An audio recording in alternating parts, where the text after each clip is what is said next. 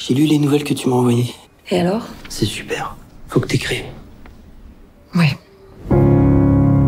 Ma petite chérie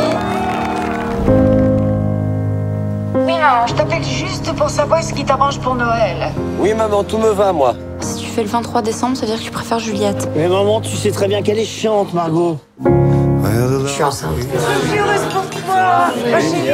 Tu m'as dit que tu cherchais un photographe. Parce que tu sais, ma petite sœur est photographe. Ce que je veux, c'est que quand tu seras connu, je veux que tu dises que moi, j'étais là. Moi, j'étais là. Mais tu vois, c'est son côté paternaliste qui m'énerve. Il arrête de se prendre pour l'homme de la famille. Mais la mort de papa, heureusement qu'il était là. hein. T'as une copine en ce moment? Euh, possible. euh. T'as peut-être un copain Oh putain, t'es lourd, sérieux.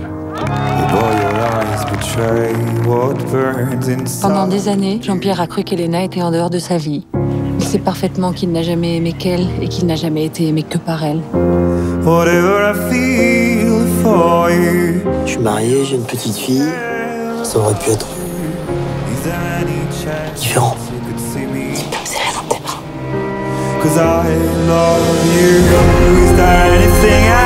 Quand il pensait à Elena, il faisait semblant d'en sourire ou d'y comprendre quelque chose, alors qu'il n'avait jamais rien compris.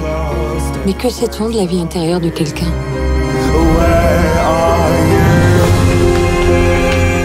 Peut-être que pour connaître quelqu'un, il faut d'abord l'aimer, avec ses désirs, sa mélancolie. Tu te souviens quand on était petit, tu m'avais dit que tu serais toujours là pour moi. Alors c'est peut-être ça que j'essaie de réparer en écrivant. Et je sais que rien ne pourra m'arrêter.